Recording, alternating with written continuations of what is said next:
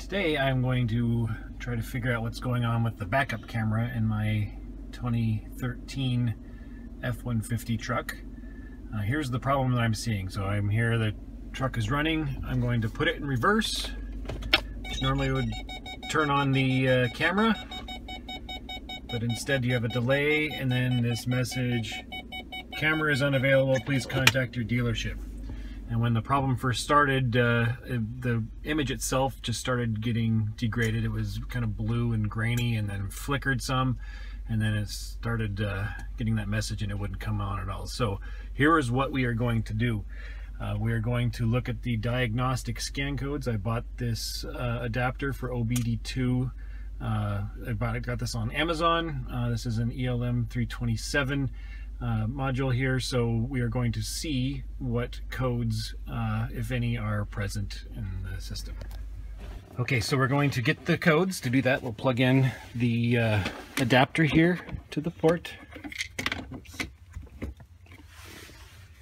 this particular adapter is a Wi-Fi version so now we'll start the engine. And on this laptop here can uh, try to connect to the adapter for the Wi-Fi. There it is, Wi-Fi ODB2. So let's connect.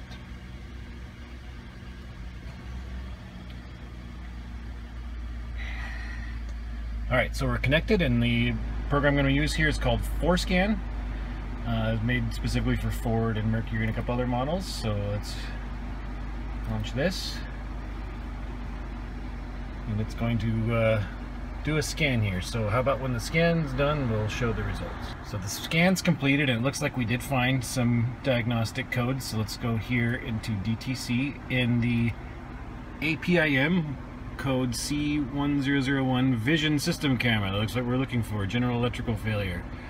Uh, so it says that uh, we do have a camera failure. The other code that it found here was in the body module uh, where it's B10F1. Uh, it says there's a circuit short to ground or open. I don't think that this is uh, what's causing my problem today. I, this, uh, I've seen this before and I think this is not uncommon, but uh, nevertheless I'll try to figure it out at some point. I don't think I'm going to do that today. So, all right, the last thing I'm going to do here is I'm going to run a self-test for the APIM. And so uh, get that started here. Usually kind of does some weird things in the uh, interface as it's running.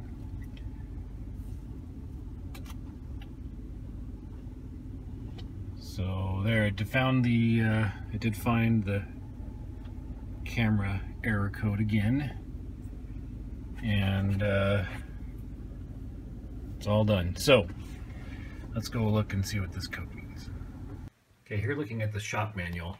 Uh, that's the only code listed for the video, and it uh, gives you a it gives you a list of uh, uh tests you can do. These are mostly electrical, uh, you know, checking for continuity, voltage, and whatnot. So we'll do that next. One thing to note, though, is that uh, if you look at the camera instructions, um, taking off this Ford emblem in the back breaks the tabs, so you have to replace the emblem. So I'm going to go ahead and order another one of those, uh, and then we'll get started. So here back at the back of the truck for the camera, uh, as I noted before, the to take to access the camera to probe in there and look at it, you have to uh, remove this emblem, and that breaks it. So I did buy a replacement one.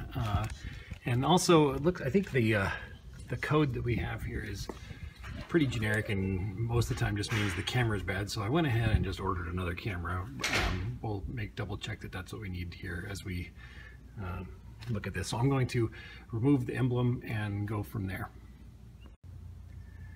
So I got the uh, emblem off. It, as promised, it did break the uh, the clips on it uh, on the back. So uh, and that exposed. Uh, there's two of these screws with a nut driver 932nd uh, to take it off and that uh, with that you can pull the whole, whole module out here so next I'm going to unplug it and then uh, we'll do some probing on the connector there So since I have a new camera here, I decided a quick test. I just plugged the uh, other camera in here.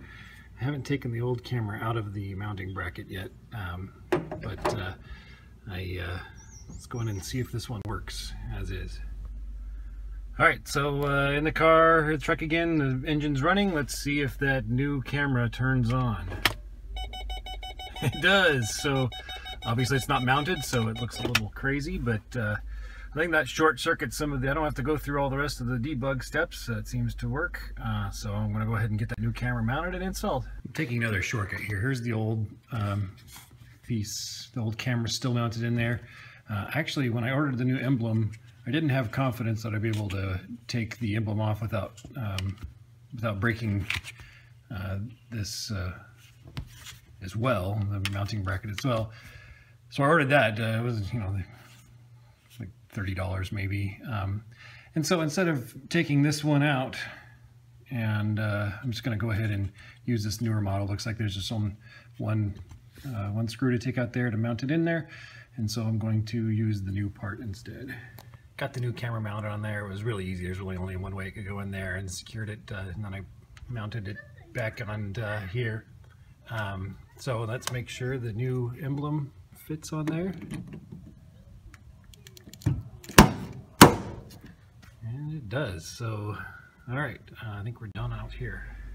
So I'm back here in the truck and uh, doing running another scan here. Uh, Want to make sure everything is checks out. First of all, as you can see, yes, when we put it in reverse, you see there is an obstruction there and the camera seems to be working.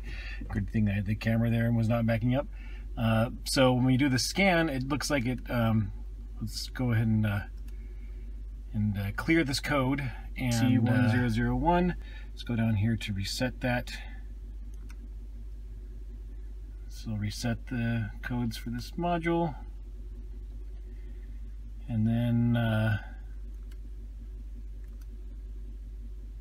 so now we have no codes there. Uh, I want to uh, go ahead and uh, run the uh, self-test for this module.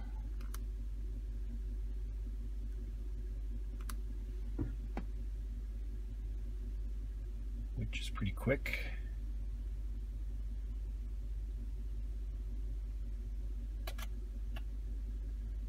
All right, no codes found, good. Uh, and then finally, I wanted to go into um, there's a option to uh, configure the cam real camera calibration. So let's try that and make sure that this passes. Rear camera calibration, make sure the following conditions are met, parked and the battery is charged, yes. So it is now executing that. It's going to take a little while, so I will uh, come back when it is done the calibration finished uh, successfully. Yeah, the only thing it, it had me turn the uh, engine off with the key in the on position to finish it. And so it looks like I'm good to go here. Uh, got the guidelines on the video, got the the no more diagnostic codes, and everything's working. So uh, I think we'll call this one done. Hope you found this video useful as I've been figuring out what's wrong with this camera. Uh, if you did find it useful, go ahead and like and leave comments below. Uh, uh, if you found anything I did wrong or did stupid, let me know that as well. Thanks a lot.